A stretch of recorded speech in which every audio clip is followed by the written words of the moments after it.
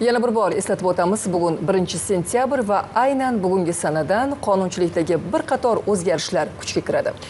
Jumladan, pensiyalar bolalikdan nogironligi bo'lgan shaxslarga, zarur ish stajiga ega bo'lmagan keksa yoshdagi va mehnatga layoqatsiz fuqarolarga beriladigan nafaqalar miqdori 10% ga oshiriladi. Hozir sizni shu va boshqa asosiy o'zgarishlar bilan tanishtiramiz.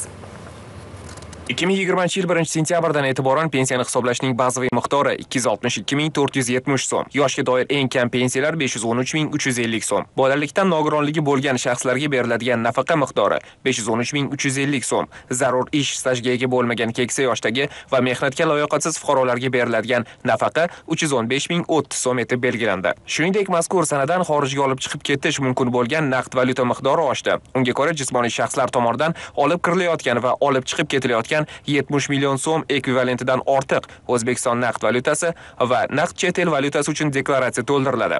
Avval bu miqdor 2000 AQSh dollari edi. Shuningdek, 100 million so'mga teng yoki undan oshmaydigan naqd valyuta O'zbekistondan tashqariga bojxona nazorati qoidalariga amal qilgan holda cheklovlarsiz olib chiqiladi. Shuningdek, 1-sentyabrdan e'tiboran ro'yxatdan o'tmasdan istiqomat qilish muddati 15 kun etib belgilandi. O'zbekiston fuqarolarini doimiy yashash joyi bo'yicha ro'yxatga olishda avvalgi doimiy yashash joyidan ro'yxatdan chiqish tartibi hamda pasport, uy daftari xizmatlari yoki xordon kartochkasiga ro'yxatga olish shtampini bosish amaliyotlari bekor qilindi. O'zbekiston fuqarolarini Toshkent shahri va Toshkent viloyatida doimiy yashash va vaqtincha turgan joyi bo'yicha ro'yxatga olish tartibi to'g'risidagi nizom kuchga kirdi. Sanitariya epidemiologiya va jamoat salomatligi sohasida bakalavriat va magistratura mutaxassislari bo'yicha yuqori malakali kadrlar tayyorlash maqsadida tibbiyot oliy ta'lim muassasalarida tibbiy profilaktika va jamoat salomatligi fakulteti tashkil etildi. Davlat organlari va tashkilotlari tizimidagi konsert, madaniyat saroylari va boshqa muassasalarda to'liq jonli ijro asosida o'tkaziladigan konsert dasturlari uchun ijara to'lovidan 50% chegirma berish tartibi joriy etildi. Shuningdek, Madaniyat vazirligi tomonidan xarid qilingan